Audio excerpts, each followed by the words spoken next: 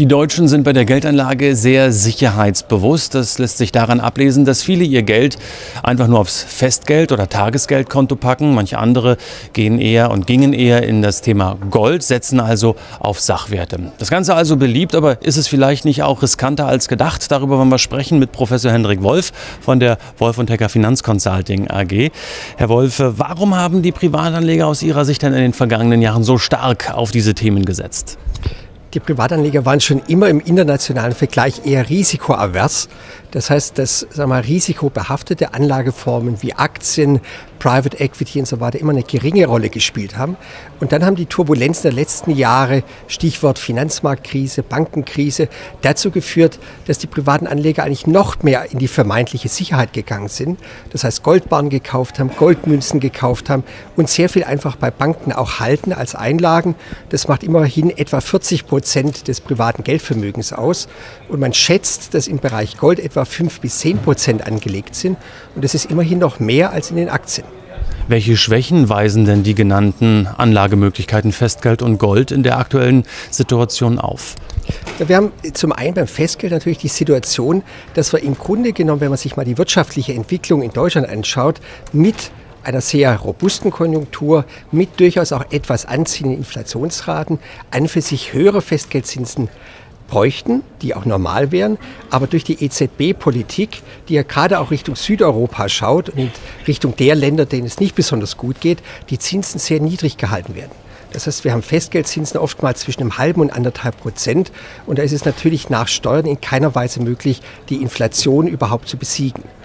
Wenn man sich zum Gold äh, kommt, dann sieht man, dass der Goldpreis in den letzten Jahren natürlich sehr gut gelaufen ist wir haben in den letzten zehn Jahren etwa eine Versechsfachung des Goldpreises.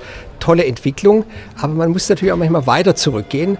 Und das sieht man zum Beispiel in den 80er Jahren minus 10 Prozent, in den 90er Jahren minus 30 Prozent. Das heißt, der Goldpreis ist nicht automatisch der Bringer, der jede, jedes Jahr sich deutlich nach oben entwickelt. Und ein ganz wichtiger Punkt in unseren Augen, man erzielt keine Erträge dadurch. Der Goldbarren wächst nicht im Safe, sondern er ist immer gleich groß. Und das ist natürlich ein großer Nachteil, dass sich der Preis nur aufgrund von Angebot und Nachfrage bildet, aber keine Produktivität dabei ist. Sie haben eben das Thema Inflation schon angesprochen. Wie gefährlich kann denn Inflation werden, wenn man nur auf Gold und Festgeld setzt? Ja, man muss sich mal klar machen, wenn man jetzt die Hälfte in Gold, die Hälfte in Festgeld die nächsten zehn Jahre anlegt und geht man davon aus, die Festgeldzinsen bleiben niedrig, rund ein Prozent, nach Steuern dann noch mal etwas weniger, der Goldpreis bliebe etwa gleich und wir hätten eine Inflation von sagen wir mal drei Prozent im Jahr, was von vielen Wirtschaftswissenschaftlern ja nicht ausgeschlossen wird, dass wir in die Richtung gehen, dann hieße das nach zehn Jahren ein Kaufkraftverlust von rund 25 Prozent. Das heißt, wenn wir jetzt 100 Euro einsetzen, dann haben wir praktisch noch 75 und dieses Risiko wird von vielen privaten Anlegern in unseren Augen viel zu wenig betrachtet. Wie sieht denn aus Ihrer Sicht nun eine gute mittel- bis langfristige Strategie für den Privatanleger aus? Ja, da gehören natürlich Immobilien, Renten, sowohl Staatsanleihen wie auch Unternehmensanleihen mit dazu.